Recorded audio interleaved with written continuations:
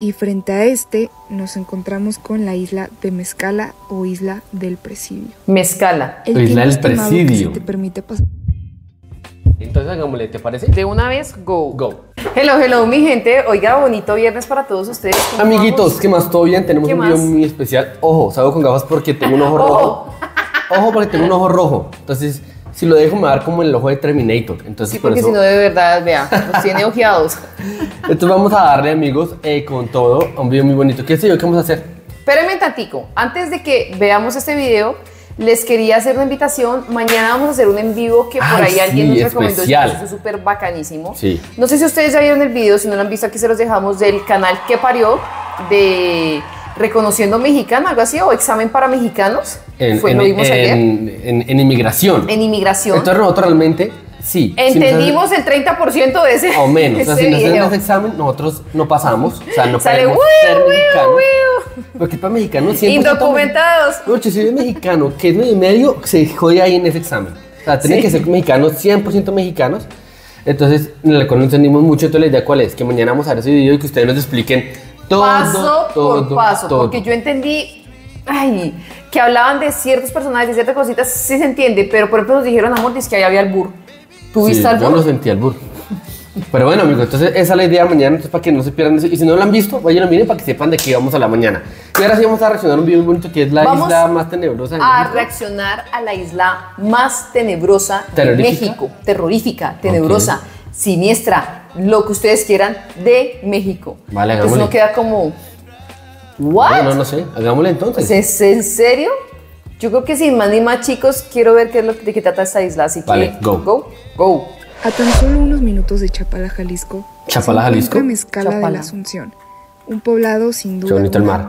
lleno de historia y cultura muy interesante. Ok. Y frente a este nos encontramos con la isla de Mezcala o isla del Presidio. Mezcala. El La isla del estimado que Presidio. se te permite pasar en esta isla es de una hora.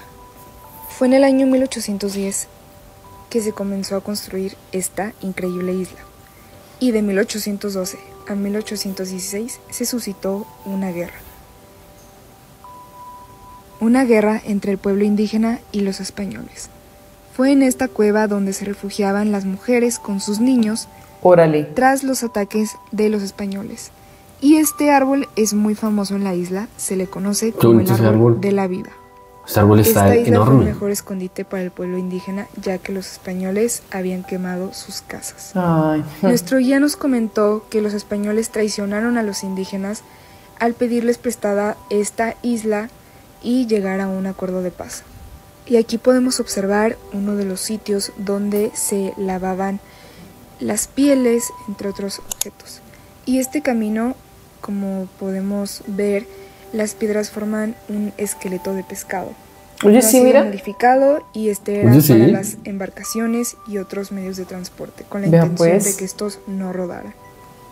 Como primera referencia histórica, el guía nos contaba que en este sitio los indígenas se resguardaban y avisaban a, a otros de ataques de los españoles. A unos pasos de la iglesia de la isla se encuentra este centro de reunión. Los indígenas realizaban aquí sus rituales. Uno de los más comunes, cortarse la oreja y dejar caer un poco de sangre sobre un sartén. Y posterior a esto, echaban la sangre al lago. Un ritual. Esto era un agradecimiento a Tlaloc, o dios de la lluvia, para tener más cosechas.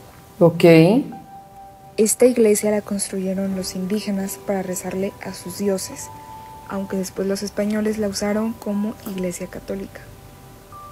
Un dato curioso es que para la construcción no únicamente de estos muros, sino de cualquier muro o pared que te puedas encontrar en la isla, se utilizó una mezcla de piedra volcánica con sábila, nopal, cebo animal y sudor humano.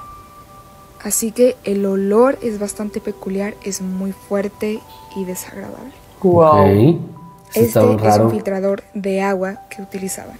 Del lado izquierdo echaban el agua y del lado derecho, donde nos mostró el guía, ya estaba lista para consumirse. Wow.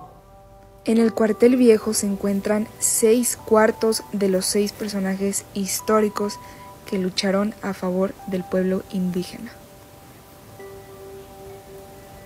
Esta habitación se utilizaba como bodega para guardar armamentos y comida. Este sitio, también llamado el polvorín, es donde se fabricaba la pólvora y aquí podemos observar en las piedras varios impactos que llegaban de los españoles. Esta es una de las seis habitaciones de los personajes. Al fondo podemos observar la cama de piedra y por motivos de seguridad no pudimos acceder a las demás, pero todas son iguales. Y por último, pero no menos importante, nuestro guía estrella, el señor Víctor Fabián Tolentino Prieto. Les recomiendo muchísimo tomar este recorrido si están interesados con él. Quien guste, le paso su contacto. Oye, qué bonito. Esa es la primera parte. Oiga, esto está demasiado. ¿Qué, ¿Qué, cantidad de historia. Sí, pero ¿por qué la isla terrorífica? La isla siniestra. No sé, de pronto miremos, de, o también igual de pronto me imagino todas las barbaridades que, pasó. hicieron, sí. Comenzamos con la parte 2 del video de Isla de Mezcala y no sin antes mencionar de nueva cuenta a nuestro guía, Víctor Fabián Tolentino Prieto, muy recomendado, quien guste su contacto, con mucho gusto se los paso. Casa Fuerte era el refugio para los españoles de aquella época. Por o los indígenas tenían prohibido el paso a este a este fuerte. Esta es una de sus recámaras y debo recordarte que cualquier muro en esta isla estaba construido a base de piedra volcánica y una mezcla de cebo animal, sudor humano y unas mezclas de sábila y nopal. Por lo que el olor que desprende cada uno de estos muros es muy desagradable y muy fuerte. Él ya nos explicó que los techos ya se encuentran remodelados y que esta es la parte donde se cocinaba. Y donde nos señala el guía era el horno. Ahora estamos subiendo a el techo donde los españoles eh, iban para vigilar tanto a embarcaciones que se, que se estaban acercando a la isla como a indígenas. Era un pequeño fuerte lo que tenían ahí. Y la vista es sin duda impresionante. La verdad que sí, muy bonito, mira. Y no les miento, en este sitio se siente una vibra muy fuerte y sobre todo te inunda un sentimiento de tristeza y nostalgia. Creo que es por eso, Ciel. En este sitio se hacían las mezclas para construir los muros. Mm. Y aquí tenemos la fortaleza insurgente. El guía no pudo darnos acceso hasta el fondo, ya que está en muy mal estado y se encuentran animales un poco peligrosos, como culebras, entre otros. una serpiente por ahí. Y este sitio que podemos ver aquí es sin duda el más impactante desde mi punto de vista.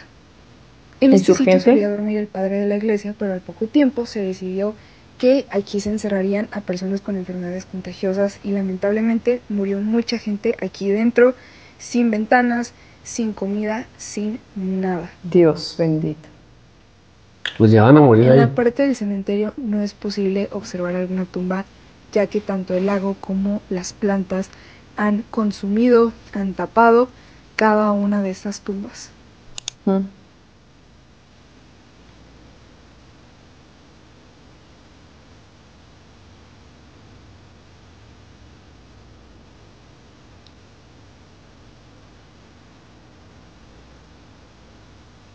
Y por último tenemos la prisión, un lugar donde se vivieron experiencias muy, muy desagradables y muy tristes a la vez. En esta parte nos comentaría que según rumores solía haber cocodrilos para que los presos no pudieran escapar. Pero qué nivel de maldad, o sea, en serio. Cocodrilillos hambrientos. Claro, era jugársela. El que de pronto quería escapar. Esta parte solía Pero igual estar en una isla, ¿no? Completamente y tanto en esta parte como en la siguiente que te voy a mostrar se encontraban los presos. los presos se encontraban encadenados día y noche, pegados a la pared y si debían de hacer sus necesidades las hacían allí mismo. No. El preso podía considerar una muerte lenta o una rápida. La muerte lenta consistía en ubicar al preso en una piedra en el centro de la casa fuerte y dejarlo sin comida, sin agua hasta que muriera. Y una muerte rápida, ingerir veneno. Sin duda alguna, esta isla guarda historias muy importantes. Esa es tu respuesta. Oye, sí, estuvo bueno. Uy, qué fuerte. Conocer esta isla. Qué fuerte, muchachos, qué fuerte la historia. O sea, es que recordar la historia es vivirla y que le duela a uno, porque de verdad, ¿cuánta, cuánta historia uno no conoce de todo lo que Es verdad, ¿no? Y todas esas barbaries que hubieron en nuestros, Las pa- en barbaries nuestros por, por países. conquistas, no, no. Claro, en nuestros países hubieron muchísimo. Demasiado, demasiado. Y es triste, de verdad que ver esto es triste, además porque creo que ella está contando una milimétrica parte de todo lo que ellos vivieron. Oiga, qué, qué triste y qué duro. Es que esta la, la encontramos porque vimos que decía que, bueno, digamos que un tema más paranormal, que aquí asustan, que no sé qué, pero quería conocer la historia real, ¿sí? De qué era lo que sucedía en esta, en esta isla y Mm. me deja muy triste. Bueno amigos, espero les haya gustado este video. Recuerden que mañana venimos con un video muy bonito y el en vivo. Recuerden, mañana en vivo a las 9 de la noche, 8 de la noche, hora CDMX, amigos. Les quiero un Se les montón. quiere un montón. Chao, chao. Chao.